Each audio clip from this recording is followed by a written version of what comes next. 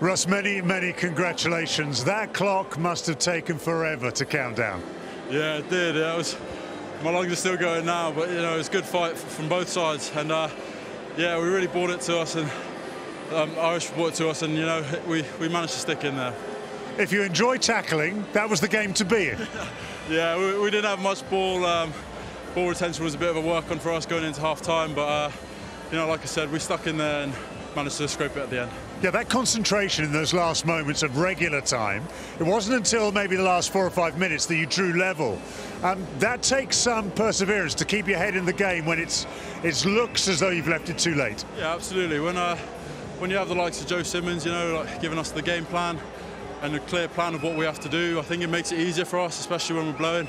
Um, so yeah, I think it was it's, it's, down to the game managers to lead us into those key areas, and uh, I think they did that well for us.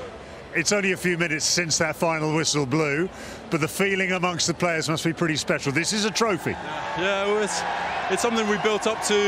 Um, we went through the group stages, um, just fighting, fighting to try and come here, and we came here and we, we did the well the unthinkable. So yeah. Well, well done. I'm not going to keep you any longer. I'll just congratulate you for your player of the match performance. Well done.